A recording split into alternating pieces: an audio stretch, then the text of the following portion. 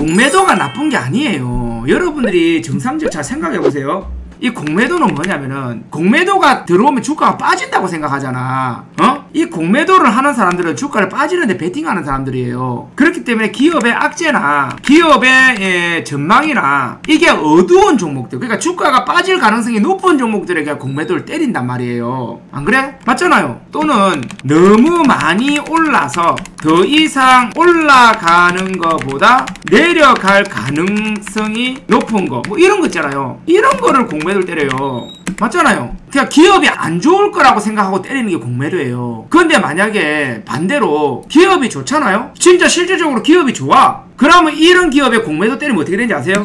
이 공매도가 짧게 갈 수밖에 없어요.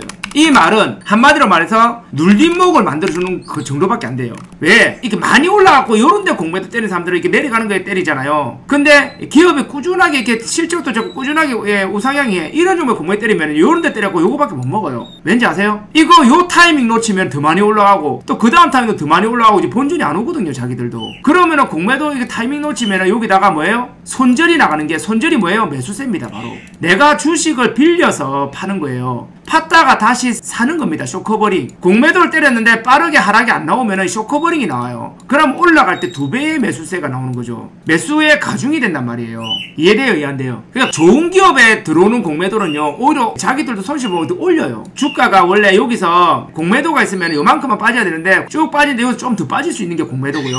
대신에 올라갈 때 이 천천히 이렇게 올라가는 게 아니라 공매도는 이렇게 올라가요. 왠지 아세요? 이게 short covering이거든. short covering이라 그래요. 내가 여기서 매도를 내가 만주를 하잖아요. 만주를 하면 여기서 만주를 사야 돼요. 어느 정도 수익 실현 나오면 만주를 사야 되거든요. 그러면 저가 매수세와 short covering 매수세가 더하기가 돼서 올라갈 때 더 빨리 올라가는 효과. 그 다음에 좋은 기업은 더 탄력을 받는 효과. 그리고 좋은 기업이 이렇게만 가는 게 아니라 눌림목을 주는 효과. 공매도의 순기능은 주가의 파동이 요 정도의 파동을 이 정도로 만들어 주는 겁니다. 쉽게 말하면은 여기서 요만큼만 올라갔다가 빠질 수 있는 거를 이까지 올라갔다가 빠질 수 있게 만들어 주는 게 공매도의 순기능이에요. 근데 여러분들이 일반적으로 공매도 때문에 손실 난다 고 생각하시죠? 어? 지금 봐봐 우리 공매도 없는데도 코스닥 종목들 여러분들 예, 다 손실 나잖아. 어? 공매도 없는데 손실 나잖아. 지금 공매도 되는 기업들 누가 예, 매매하는 거 몇 개나 있습니까, 여러분들? 기간은 이자가 존나게 비싸요. 공매도는 나중에 되면 이자가 원금을 깨먹어요. 몇 년 들고 보면 오케이? 그래서 지금 현재 여러분들이 진짜 문제가 되는 건 뭐냐면은 공매도는 문제가 안 돼요. 전체 시장의 공매도 비중이 5%가 안 넘어간다니까. 시장을 흔들 만큼의 공매도 수량이 안 돼요. 근데 진짜 문제는 뭐냐면은 따로 있어요. 바로 이거 예, 무차입 공매도예요. 이게 같은 거예요 이게. 무차입 공매도 이거. 그리고 우리가 uptick rule이라고 있는데 예 uptick rule이 뭐냐면은 공매도는 밑으로 때릴 수가 없어요. 근데 이 uptick rule을 아무도 단속 안 하고요. 단속을 해도 미미하고 무차입 공매도는 uptick rule을 무시한다는 겁니다. 밑으로 던진다는 거예요. 밑으로 던진다는 겁니다 밑으로 잘 생각해봐요. 이 무차입 공매도는요, 일반 합법적인 공매도의 한 내가 봤을 때 다섯 배 이상입니다, 규모가.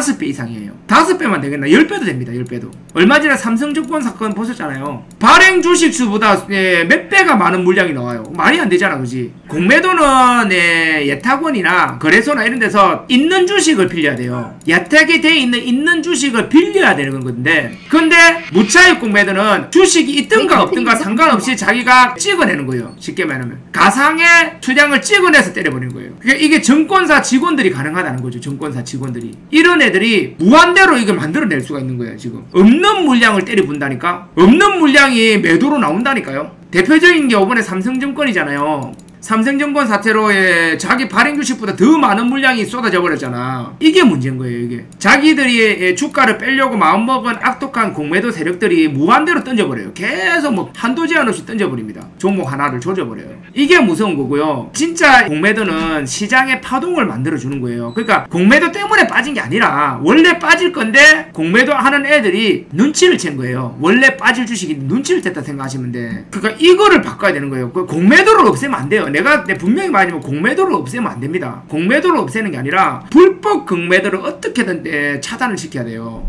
제일 차단하기 쉬운 방법이 뭔지 아세요? 불법 공매도 치- 제일 차단하기 쉬운 방법이 이 3일 결제를 없애면 돼요. 3일 결제를 없애고 적각 적각 결산을 하면 돼요. 3일 결제일 때문에 지금 불법 공매도가 판을 치는 겁니다. 3거래일 있잖아요. 그걸 없애야 된다니까. 한마디로 3일 동안에 뭐 이제 100만 주든 1000만 주든 1억 주든 공매도 쳐도요. 문제가 없다니까 지금 은. 3일 안에 갚으면 돼요 그냥. 없는 주식을 만주를 만들어서도 공매를 치고 3일 있다가 만주를 갚으면 돼요 그냥. 3일 동안에 만약에 1000만 주를 쏟아붓는데 안 빠질 주식이 어딨냐고. 안 그래? 시장이 여러분들 수익 낼 때 맨날 다 시장이 2% 3% 움직이면은 이게 수익 나겠어요? 요렇게 파동이 요래요. 단타 칠 거 있겠어? 없어. 한 이 정도는 이렇게 움직여줘야 되잖아요. 어, 위아래로 한 2, 30%는 팍팍 움직여줘야 중간에 우리가 5% 10% 먹으러 들어가서 먹고 나오지. 맨 날 파동이 이렇게 돼 있어 봐요. 공매도 없어가지고. 이거 한번 이래가지고 한번 물리잖아요? 물리면 안 올라옵니다. 이거는. 파동이 이렇게 있어야 물려도 에, 반등 나올 때 에, 그거 뭐지 청산이라도 하지. 공매도가 있어야 진짜 좋은 거예요.